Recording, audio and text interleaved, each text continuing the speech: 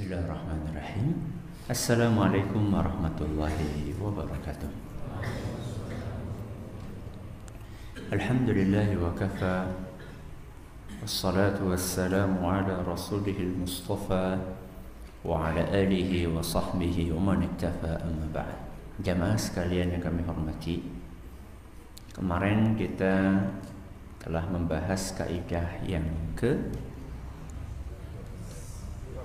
15 Sekarang kita membahas kaidah yang ke-16 Kaidah ini sangat kita butuhkan dalam kehidupan kita Apalagi di zaman ini. Di zaman ini banyak orang tidak bisa membedakan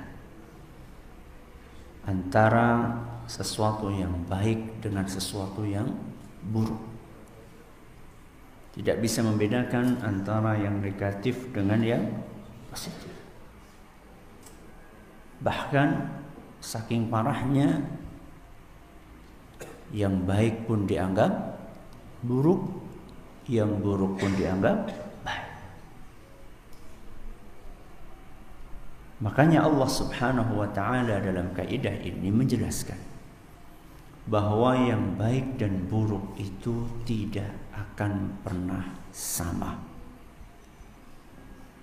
Kaidah itu Allah sebutkan dalam surat Al-Maidah ayat 100. Surat apa? Al-Maidah ayat 100. Allah Subhanahu wa taala berfirman, "Qul" Apa artinya qul? Katakanlah La yastawil khabithu wat tayyib. Katakanlah tidak akan pernah sama antara yang buruk dengan yang baik. Tidak pernah apa? Sama antara yang buruk dengan yang baik. Antara yang kotor dengan yang bersih antara yang haram dengan yang halal. Antara yang najis dengan yang suci. Tidak akan pernah sama antara yang buruk dengan yang baik. Entah itu dalam perkataan, entah itu dalam perbuatan, entah itu dalam keyakinan, entah itu dalam makanan atau minuman atau dalam mata pencaharian. Tidak akan pernah sama antara perkataan yang baik dengan perkataan yang buruk, antara yang jujur dengan yang dusta. Tidak akan pernah sama antara perbuatan yang baik dengan perbuatan yang buruk. Antara orang yang berbuat bersikap dengan cara yang lembut dengan orang yang bersikap dengan cara yang kasar. Sama atau tidak? Beda. Tidak akan pernah sama antara sifat yang baik dengan sifat yang buruk. Antara kedermawanan dengan kepelitan. Sama atau beda? Sama atau beda? Beda. Antara keadilan dengan kezaliman. Gak akan pernah sama. Termasuk dalam keyakinan. Antara keyakinan yang benar dengan keyakinan yang salah, ya tetap beda. Masa sekarang muncul pemahaman semua agama sama? Ya beda. Wong gena-gena jenenge beda kok. Ya. Yang satu diturunkan oleh Allah Subhanahu wa taala dari langit, yang satu dibikin manusia di bumi. Ya beda lah. Yang satunya bersumber dari Allah Subhanahu wa taala yang tidak mungkin salah. Yang satunya dibikin oleh manusia yang kadang benar kadang salah ya beda. Ya. Sesuatu yang berbeda ya katakan berbeda. Kalau sama ya sama, kalau beda ya beda. Ya. Antara agama yang mengajarkan tauhid dengan agama yang mengajarkan syirik sama atau beda? Beda. Termasuk juga dalam mata pencaharian. Antara mata pencaharian yang sumbernya halal dengan mata pencarian yang sumbernya haram sama atau beda? Sama atau beda? Beda. Walaupun kadang-kadang yang sumbernya haram hasilnya hasilnya lebih banyak. Maka kelanjutannya apa? Qul la khabithu wat tayyib. Tidak akan pernah sama antara yang buruk dengan yang baik walau a'jabaka kathratul khabith. Sekalipun yang buruk itu banyak sehingga membuat engkau menjadi tergiur. Panjenengan minjemin duit sama orang satu juta kalau nggak pakai bunga, kembalinya berapa? Satu juta. Kalau pakai bunga, ya tergantung. Anak sing sejuta mamatus. Ya. Banyak mana coba? Banyak yang mana? Yang halal apa yang haram? Yang halal atau yang haram? Yang haram. Walau a'jabaka kasratul khabis Sekalipun yang buruk itu banyak dan membuat engkau menjadi tergiur, tetap tidak sama. Tidak samanya di mana Ustaz? Tidak samanya yang ini mengantarkan kepada kebahagiaan, sedangkan yang itu mengantarkan kepada kesengsaraan. Makanya banyak orang cerita ketika penghasilannya haram, Katanya bu mengendi duitnya akeh tapi orang nebu kasih. Ya. Sampai saat ini saya itu nggak punya aset, padahal penghasilannya besar. Ya. Yang adalah utang, utang, utang. Ya. Itu karena rizkinya tidak berkah. Cara wong Jawa duit setan dipangan belis. Gak jelas ke mana duitnya itu pergi. Walaupun kelihatannya besar, banyak. Makanya Allah Subhanahu wa taala di dalam ayat tadi kaidah surat apa tadi? Al-Maidah ayat 100 setelah menegaskan tidak akan sama antara yang baik dengan yang buruk maka Allah Subhanahu wa taala lanjutkan walaupun yang buruk itu lebih banyak, nggak usah tergiur. Tetap yang halal itulah yang berkah.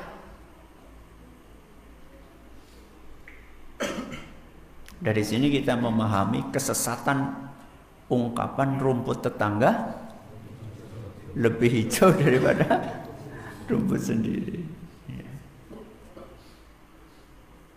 Karena jenengan nggak tahu bisa jadi rumput tetangga itu sintetis. Udah rumput apa? Udah rumput asli. Ya. Nah, rumput plastik. Ya. Makanya kelihatan lebih hijau. Tetap yang halal itu lebih nikmat.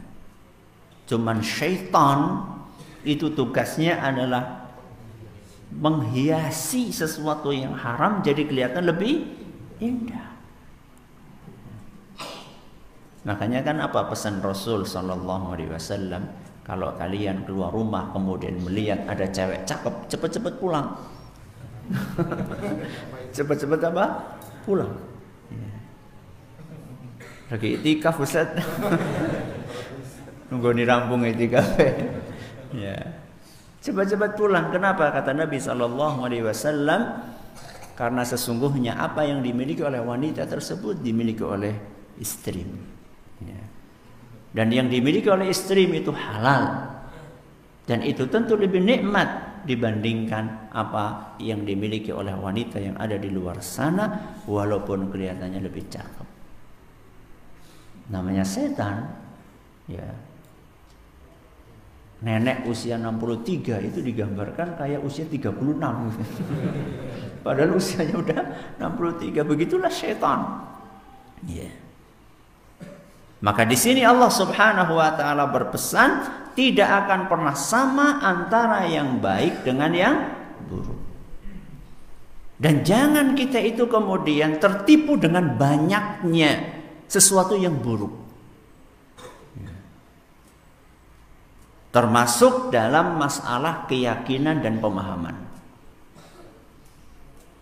Jangan minder ketika kita itu berpegang dengan kebenaran dan kita melihat ternyata yang berpegang dengan kebenaran itu sedikit, nggak usah minder.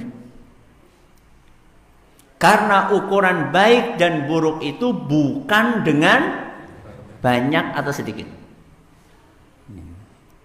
Bahkan di dalam Al-Quran Allah subhanahu wa ta'ala tegas-tegas dalam surat Al-An'am ayat 116 Allah azza wa jalla berfirman wa in tuti' aktsara man fil ard yudhilluka an sabilillah Seandainya engkau ikut kebanyakan manusia yang di muka bumi ini, maka mereka akan menyesatkanmu dari jalan Allah. Jadi ngukur benar dan salah itu bukan dilihat dari banyak dan sedikit. Sekarang saya tanya sama jenengan. Di negeri kita ini antara yang ke masjid dengan yang tidak ke masjid banyak yang mana? Banyak yang mana? Yang tidak ke masjid atau yang ke masjid? Berarti yang benar yang mana? Walaupun cuma Sedikit. Di negeri kita ini antara wanita yang menutup aurat rapat dengan yang tidak menutup aurat dengan rapat lebih banyak mana? Jadi ngerti? Gak usah dicari Ustaz, ketahuan sudah. Gak perlu kita teliti, kita survei itu gak perlu, sudah ketahuan. Begitu keluar rumah mana yang pakai jilbab rapat dengan yang tidak itu kan udah ketahuan. Berarti yang benar yang mana? Yang menutup aurat dengan rapat. Antara yang jujur dengan yang tidak jujur, kita bisa menilai. Sehingga ukuran benar atau salah itu bukan dilihat dari banyak atau tidaknya orang yang menganut pemahaman tersebut. Jadi nggak usah bangga, oh kami ini pengikutnya se-Indonesia paling banyak, nggak usah bangga. Kecuali kalau banyaknya itu sesuai dengan apa yang diajarkan oleh Allah Subhanahu wa taala dalam Al-Qur'an dan apa yang diajarkan oleh Nabi kita Muhammad sallallahu alaihi wasallam dalam sunnah beliau. Kalau itu alhamdulillah Nabi kita Muhammad sallallahu alaihi wasallam awal dakwahnya beliau ketika di Mekah, beliau adalah beliau dan para sahabatnya minoritas atau mayoritas minoritas. Bukan hanya minoritas, bahkan ditindas, ditekan, diintimidasi. Ya. Sampai akhirnya terakhir diusir dari kampung halamannya sendiri. Dari mana itu? Dari Mekah. Maka diceritakan dalam beberapa buku sejarah ketika Rasulullah SAW hijrah dari mana ke mana? Dari Mekah ke Madinah saat sampai di perbatasan kota Mekah beliau menyempatkan diri untuk nengok untuk menghadap ke kota Mekah sambil melihat kota Mekah dan beliau bersabda wallahi innaki la ahabbul biqa'i ilai. Demi Allah wahai Mekah engkau adalah tanah yang paling aku sukai di muka bumi ini Engkau adalah wilayah yang paling aku cintai di muka bumi ini. Terus kenapa kamu tinggalkan? Kalau bukan karena kaumku yang mengusir aku dari tanah ini, aku tidak akan pernah mau meninggalkanmu. Bayangkan, Rasulullah SAW diusir dari kampung halamannya sendiri. Karena mempertahankan apa? Kebenaran. Karena mempertahankan keyakinan yang Allah Subhanahu wa taala perintahkan kepada beliau untuk beliau sebarkan di muka bumi ini. Walaupun kemudian tidak lama setelah itu sekitar 10 tahun kemudian Nabi Shallallahu Alaihi Wasallam datang ke kota Mekah dengan jumlah yang besar. Ya. Waraitan nasa yadkhuluna fi dinillahi afwaja. Apa artinya afwaja? Berbondong-bondong. Saat itu Islam menjadi besar. Awalnya kecil. Makanya ketika kita berpegang dengan kebenaran, kemudian tidak banyak yang ikut, tidak ada masalah. Yang penting kita yakin itu adalah kebenaran. Kecuali kalau misalnya yang kita pegang itu bukan sesuatu yang bersifat kebenaran, maka jangan pede. Kalau salah jangan pede. Ada sebagian orang, si penting beda. Kemudian rambutnya abang. Bukan itu. Jadi yang dimaksud dengan manusia terasing itu bukan yang berusaha untuk tampil beda, ya. Kancane yang celana biasa, dheweke celana sing bolong-bolong, diwehi rantai, ya. Kemudian apa lagi? Ya, yang lainnya cukurannya biasa, gitu, cukurannya digawe mohak. Ya. Terus dikasih ada jalan kutu di sini. Bentuk mana gampang apa? Boleh liwat. Yang dimaksud dengan aneh terasing itu bukan itu. Aneh di sini maksudnya yang lainnya berpegang kepada kesesatan, dia berpegang dengan kebenaran. Itu maksudnya. Walaupun jumlahnya sedikit, tidak ada masalah. Ya. Karena sesungguhnya Allah subhanahu wa ta'ala tidak akan pernah menyamakan antara yang baik dengan yang buruk. Sehingga Allah menciptakan ada surga dan ada neraka. Sama atau tidak? Sama atau tidak? Beda. Jadi kalau ada orang yang ingin menyamakan antara tauhid dengan syirik, antara iman dengan kafir, apakah dia berani menyamakan antara surga dan neraka? Ya wislah nyong ora apa surga neraka pada bayi tak neraka baik. Mau seperti itu? Ya. Tidak akan pernah sama. Tauhid kok disamakan dengan syirik? Iman kok disamakan dengan kufur? Tidak akan pernah sama. Makanya Allah Subhanahu wa taala menciptakan dua tempat yang berbeda di akhirat nanti. Ada surga, ada neraka. Surga diperuntukkan oleh Allah Subhanahu wa taala untuk orang-orang yang beriman, sedangkan neraka diperuntukkan oleh Allah Subhanahu wa taala untuk manusia-manusia yang jahat, untuk orang-orang kafir, untuk orang-orang musyrik. Termasuk dalam masalah mata pencaharian dalam masalah makanan tidak sama antara yang halal dengan yang haram. Makanya Allah Subhanahu wa taala sampai merasa perlu untuk mengingatkan para nabi dan para rasul. Ya ayyuhar rusulu kulu minat thayyibat. Wahai para rasul, makanlah yang baik-baik. Padahal itu para rasul. Berarti ini berlaku cuma buat para rasul saja. Tidak, termasuk buat kita. Makanya di ayat yang lain Allah berfirman, "Ya ayyuhan nas." Apa artinya? Wahai para manusia, kulu mimma fil ardi halalan thayyiba. Makanlah apa yang ada di muka bumi ini yang halal dan yang thayyib, yang halal dan yang baik. Jadi perintah untuk makan yang halal-halal ini berlaku buat seluruh manusia, wabil khusus buat siapa? Para nabi dan para rasul. Sehingga para nabi dan para rasul itu semuanya rata-rata kerja. Dan hampir semuanya itu pernah menggembala kambing. Sing penting halal.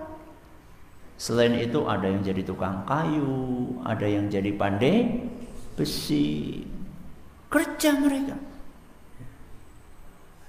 Walaupun mungkin penghasilannya tidak seberapa, yang penting halal. Sehingga Nabi kita Shallallahu Alaihi Wasallam lebih mengapresiasi seorang pencari kayu bakar yang untuk mengumpulkan kayu bakarnya dia harus naik ke puncak gunung. Lalu dia kumpulkan kayu-kayu yang berjatuhan, kemudian dia ikat, dia turun dari puncak gunung dijual ke pasar. Dua ikat oli pira. Ser pada ngusuluh ya? ya. Satu ikat berapa? Lima ribu. Masya Allah. Ya. 5 ribu dua ikat berarti berapa 10 ribu manusia yang seperti ini lebih terhormat daripada manusia yang kerjaannya minta-minta. Sing minta-minta sih penghasilan akeh apa ora? Oh, malah ana sing nyimpen plastik isinya puluhan juta. Ya. Ketika pulang gawa kontak, kontak mobil. Astagfirullahaladzim. Iya penampilannya masya Allah ya. Penampilannya sederhana sekali. Bareng wisaran anak orang terus dia ke parkiran. Jadi tweet itu mobil sungguh pencari kayu bakar itu lebih terhormat lebih mulia daripada peminta-minta itu walaupun pencari kayu bakar itu nyeker walaupun dia capek walaupun hasilnya sedikit. Ya. Kenapa lebih mulia, lebih terhormat? Karena penghasilannya apa tadi? Halal. Tidak akan pernah sama antara yang baik dengan yang buruk, termasuk manusia. Manusia yang baik dan yang buruk tidak akan pernah sama. Manusia yang jujur dengan manusia yang curang jelas beda. Manusia yang adil, manusia yang zalim jelas beda. Manusia yang tutur katanya halus dengan manusia yang tutur katanya kasar jelas berbeda. Termasuk manusia yang beriman dengan manusia yang tidak beriman. Orang Islam dengan orang kafir beda, tidak akan pernah sama. Inilah kaidah yang Allah Subhanahu wa taala jelaskan dalam surat Al-Maidah ayat 100. Maka jangan kita terpancing, jangan kita terpengaruh dengan propaganda yang mengatakan semuanya sama. Ya kalau memang sama beneran tidak apa-apa, tapi kalau beda masa dikatakan sama. Makanya pernah saya sampaikan di sini apa? Islam itu tidak akan pernah membedakan dua hal yang Islam itu tidak akan pernah membedakan dua hal yang sama atau menyamakan dua hal yang berbeda. Apa tadi? Islam tidak akan pernah menyamakan dua hal yang berbeda atau membedakan dua hal yang sama. Kalau dibedakan dalam Islam berarti memang beda. Kalau disamakan berarti sama. Wallahu a'lam bishawab. Mudah-mudahan bermanfaat buat kita semuanya. Terima kasih atas perhatiannya. Mohon maaf atas segala kurangannya. Kita tutup dengan membaca Subhanakallahumma wa bihamdika asyhadu an la ilaha illa anta astaghfiruka wa atubu ilaik. Wassalamualaikum warahmatullahi wabarakatuh.